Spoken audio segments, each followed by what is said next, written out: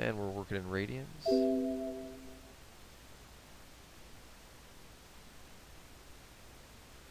Actually, that's the negatives.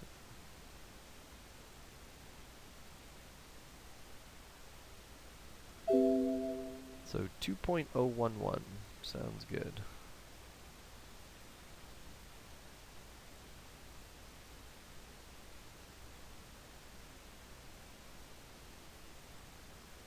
And then I'm going to move this 1.578 to the other side. So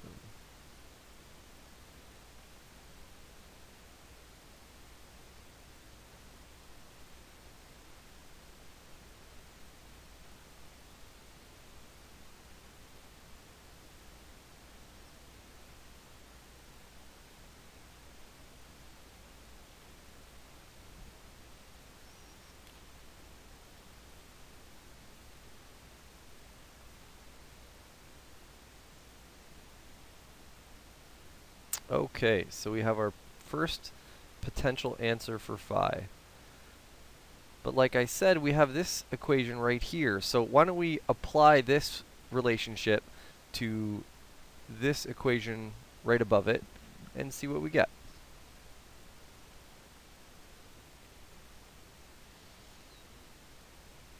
So yes, let's apply that.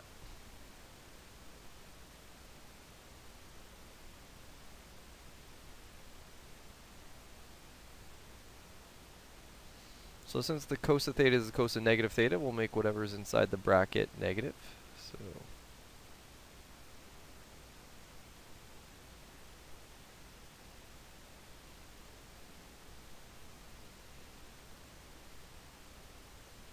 Okay, and I'm going to switch sides here. So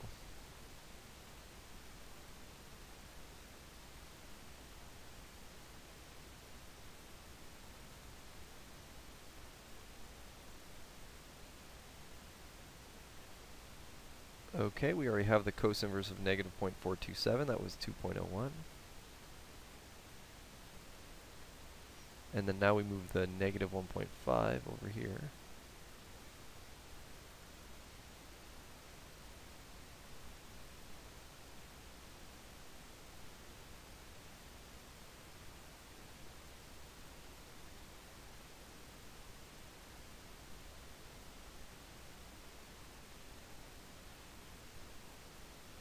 And so we get re another result for our, another possible result for our phase angle.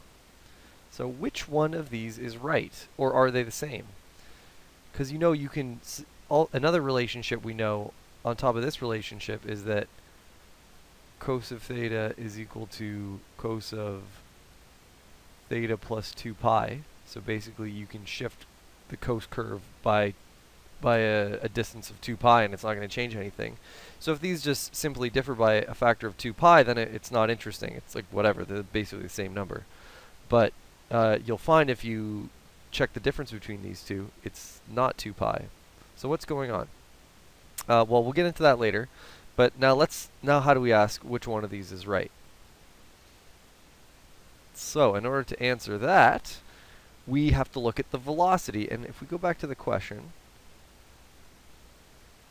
the question tells us, stopwatch, so it tells us not only that it's not only its position, that it's 5 centimeters below equilibrium, but it also says that it is moving upward. So that means the velocity must be positive. So we have to take these two take these two phase angles, put them into our velocity equation, and see which gives the positive velocity that the question talks about. So let's do it.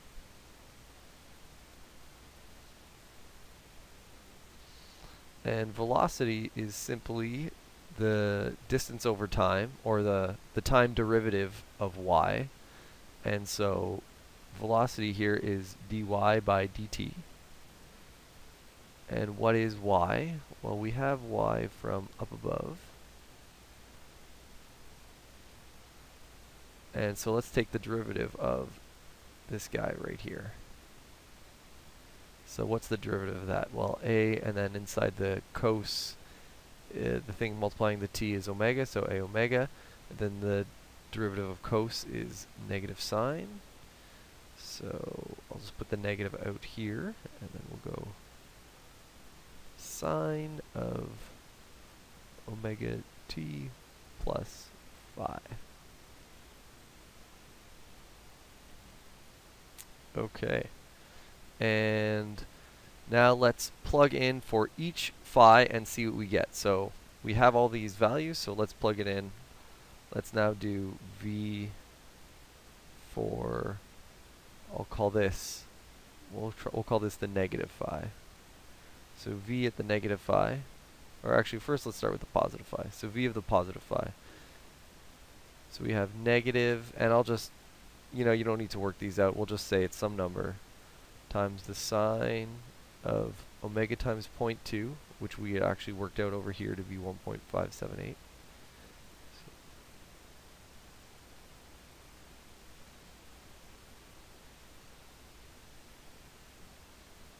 Point four three two. So that's going to be, when we work it out, we have a negative times a number times the sine of all this. And the sine of all this is going to give us, this is this here is going to be positive, so we're left with a negative number. So that means v with the positive phi does not give us the right answer. That phi is wrong, because it violates what the question said, and the question said that uh, below equilibrium n is moving upward, so positive velocity. Oops, there we go. So yeah, so this does not have positive velocity. So let's try v at negative phi, and hopefully that will give us the correct answer. So again, we are going to have a negative number times the sine of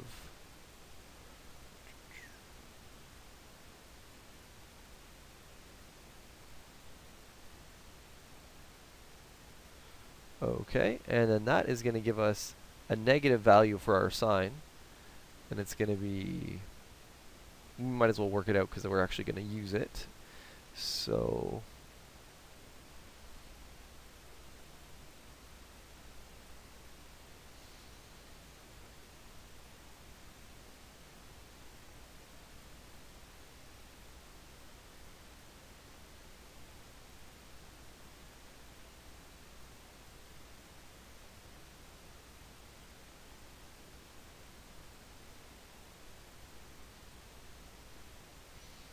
Okay, so negative 0.904. And actually, what's A omega? So A, we figured out from above as well, 11.7 times omega, which is 7.89.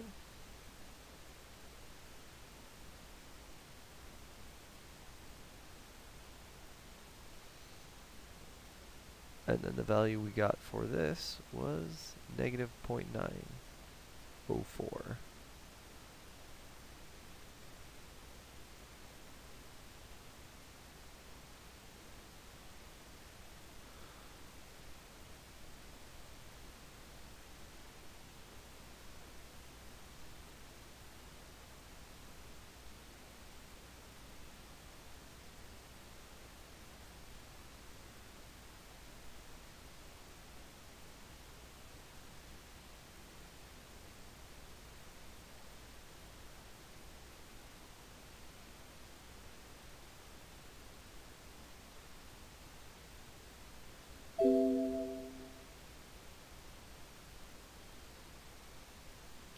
So that gives us a velocity of 80, 83.5 centimeters per second, and I'll just put it in meters per second.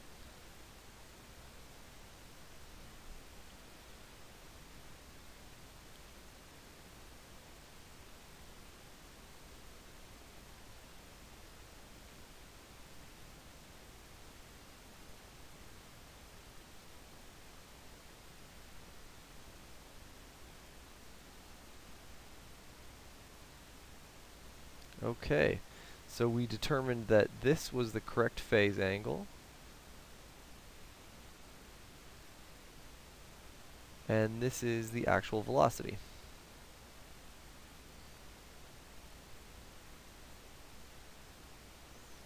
And then we're finished the problem.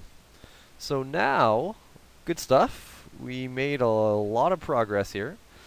So now let us look at the cos problem and a little explanation as to why that is.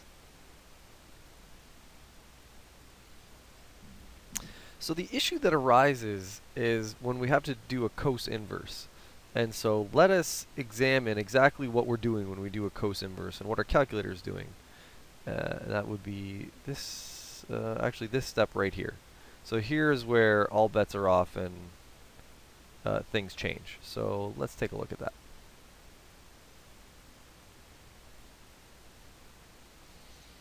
Okay. So the cosine curve, if this is our x-axis, this is negative x.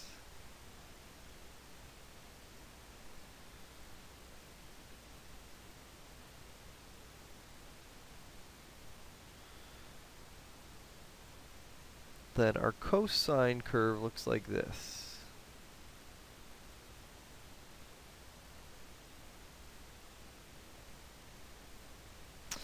So basically, if we ask cos for, if we give cos a value of x, it gives us back a value of y. That's how cos works. So how does cos inverse work? Well, cos inverse is the inverse of this. Basically, you switch your your x with your y and your y with your x. And so that looks like this then. So we're going to swap it. This is going to be the old positive x. Now going to go here. This is the old negative x. And this is going to be the old positive y and the old negative y. And so cos inverse looks like this.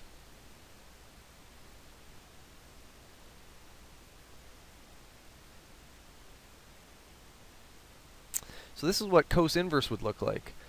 However, in a calculator, let's say you give the calculator this value right here, so um, 0.5, okay, and then you ask for a y value, is typically what you do.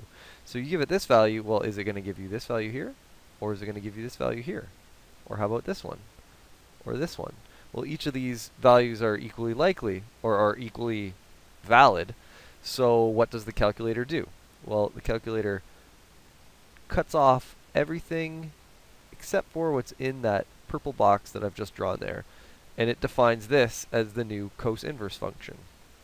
And so any points that lie outside of this, even though they describe different parts of the curve, they are excluded. So we type in our cos inverse and it gives us this value here, when in fact it should have given us this value here. And how do these values different? Well, if we bring them back to our original curve, those are like the points here and here. Where, well, this point right here, if this is in simple harmonic motion, if this is displacement, um, if this is displacement as a function of time, at this point here, the the velocity of the block is negative. The block is on its way down. Then it's going to go back up, and it's going to go back down. If, however, we had selected this point, the velocity is up. So the block is on its way up before it makes its way down and up and down and up and down. So that's how those two points differ. And that's why uh, we have to use that little mathematical trick that the cos of theta is equal to the cos of negative theta. And that trick, instead of limiting ourselves to this purple box, now opens up and we're looking at this blue box where we can look at a, a whole other range of possibilities. And the same thing applies for the sine function, except uh, for the sine function, the sine of negative theta is equal to the negative sine of theta. So you apply this relationship should they give you a, a cos curve, should they give you a sine curve instead of a cos curve when doing simple harmonic motion. And that's how you guys do it. Thanks for your patience. This is the first time I've uh, put together one of these videos. So definitely feedback would be awesome. Whether you liked it, you hate it, you thought I should go faster at some ports, uh, some parts, slower to others. Um, yeah, any feedback would be amazing. Thanks, guys. Hope it helps.